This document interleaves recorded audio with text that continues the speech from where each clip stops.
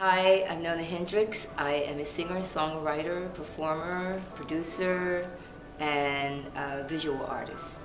A large number of our followers are women between the ages of 25 and 34. And um, it's Women's History Month, right? Yes. First of March. So, in celebration of Women's History Month, what is the most important message that you would offer this age group? I think finding out, you know, who you are, uh, first of all, seeking yourself and uh, getting involved in uh, a business in terms of technology because technology is where we are. And also you know developing your spiritual uh, strength so that when you come up against adversity you have something to draw from inside.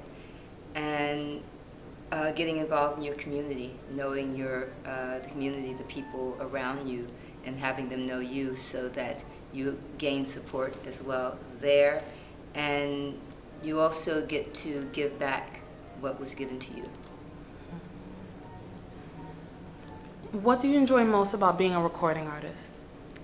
Ah, music is the most important thing about being uh, a recording artist. I don't really think of myself as a recording artist. I think of myself as an artist in terms of uh, music and creativity. In fact, I don't even know what I think of myself as an artist. I think of myself as being a creative uh, person, and uh, you know, I get to do every day what it is I love to do. So that is probably the top uh, number one thing that I find the joy about what I do. Outside of music, how do you hope to in- inspire people?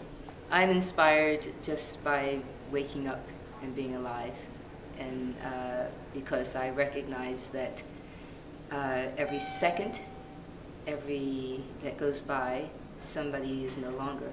Although somebody else is born, I have been able to do this a day uh, for many years, and so I'm one of the lucky ones in life. And so I'm inspired by the fact that I'm still here. I get to do what I love doing. And to inspire others, I think sharing that uh, feeling, the joy of being alive and being creative and having family and friends who love me and loving the people uh, that I love and the fans that I have, uh, you know, it's kind of like I won the lottery. and there's, uh, you know, so that's what I try to pass on to others. I try to pass on that uh, joy of life, and that's what inspires me is uh, the joy of life.